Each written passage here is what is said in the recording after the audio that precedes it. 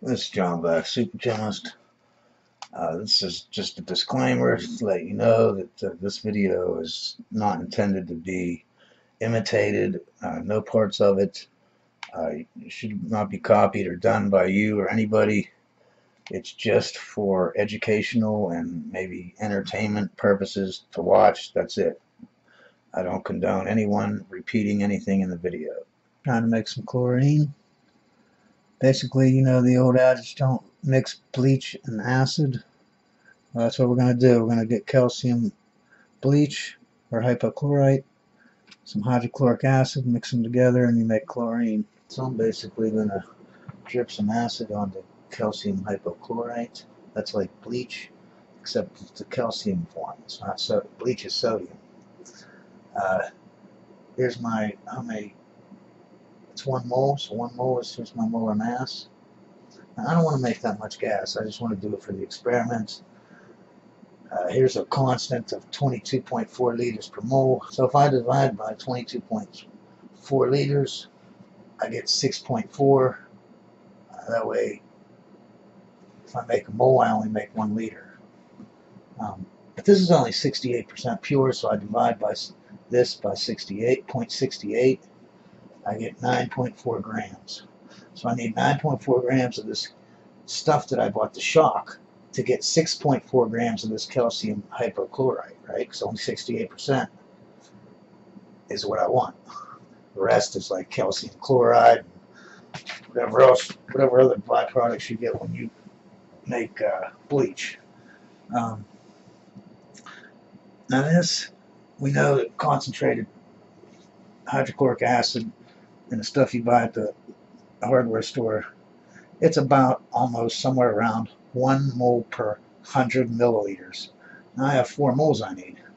So that's 400 milliliters. And we're dividing everything by 22.4. So here I did that.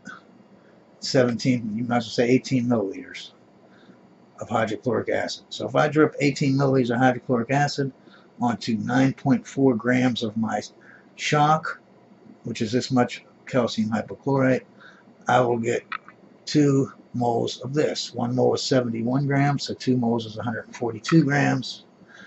I divided everything by 22.4, so I did the same over here.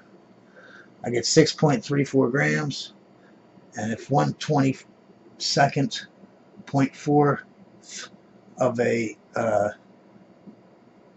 mole is a liter, and I got two moles here, and I took that, so that's two liters. So I'm going to make two liters of gas. I want you to keep in mind, I'm, I'm cl closed down my lab. I still have a lot of videos to go out, but I'm kind of doing these repeat videos. I know a bunch of people made chlorine and some more stuff that I'm making, but I had a video banned, and you can only get so many banned, you know, within a three-month period. So that means I have another month or so before I can put anything up that's new, you know, unique, then I'll be afraid that they'll, cause if you get three strikes and they cancel your channel, they will kick my whole channel off the air or whatever. I'll have to start all over again. So, sorry to say about that. Alright, here's my chlorine source. It's just some uh, shockwave, you know, from the pull place. Uh, it's calcium hypochlorite. 68% and the 32% is other ingredients. Uh, so I just wanted to show you how to get it, get it out. It stinks. well, there's my setup. I got my hydrochloric acid in here. I got my bleach in here, my calcium bleach. You can't make it out because it's. I got this white towel behind it, but this is just an empty round bottom flask. And then it leads into some water over there. And that's it. I'm drip it in.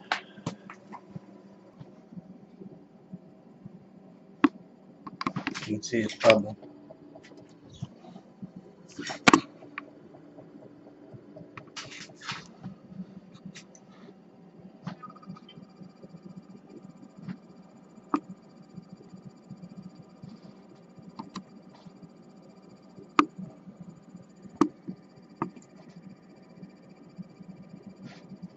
you can tell but it's getting green inside this flask here.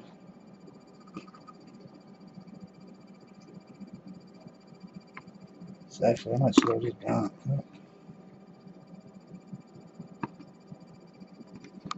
It's actually starting to get yellow in there too.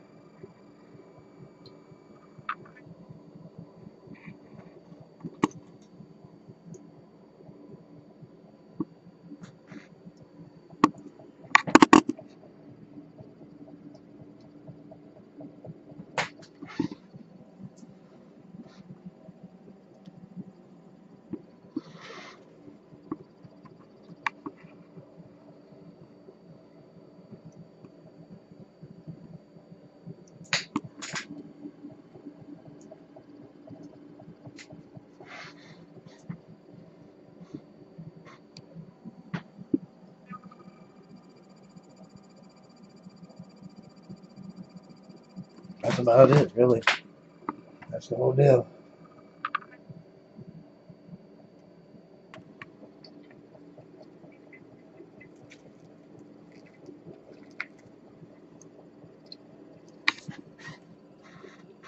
Nope.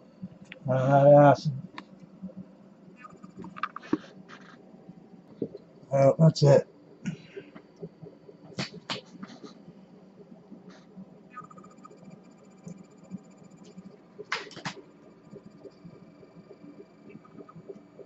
I got some chlorinated water. That's uh, HOCl acid. Instead of it being like the sodium bleach, it's the actual acid.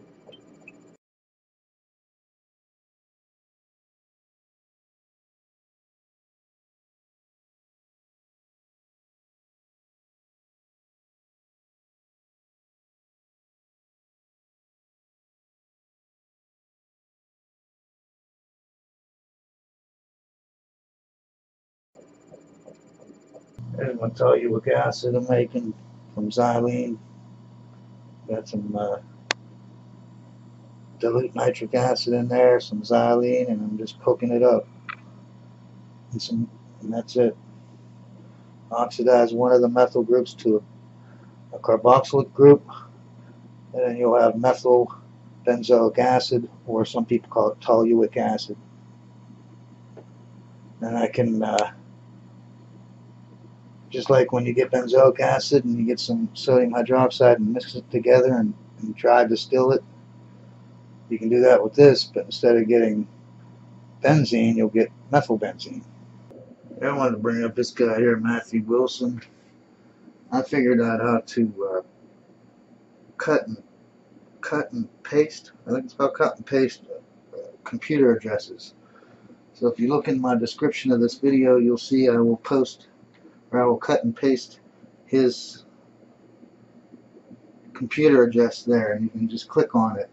It'll be blue probably. You click on it and go to his site. Uh, he's doing something unique. Uh, he's like me. He's learning. But he's got a good sized brain. He's gonna figure it out that's for sure. Uh, he's actually making gems believe it or not. Like you know sapphires uh, rubies you know, I'm guessing he wants to make other kinds of gems too, but he wants to perfect this, what he's doing now first. And he's actually building, a, buying the equipment or building a furnace so that he can do this stuff. Um, so if you are interested in that kind of thing, you know what I mean, taking some salt basically or some oxides and heating them up until you have a freaking ruby. Uh, you know, you want to talk to somebody, even if you have information, maybe you can help him. Uh, go on over there, check it out, help him out, or talk to him, or whatever, man. Check out his videos. I've really only watched a couple about the gyms. And like I said, he's buying the equipment, he's getting ready. So it's not like he has a million videos about it yet, but give him time, and uh, people are interested, I'm sure it'll, it'll help him be uh, more motivated. So anyways, check it out. Always remember, science is great.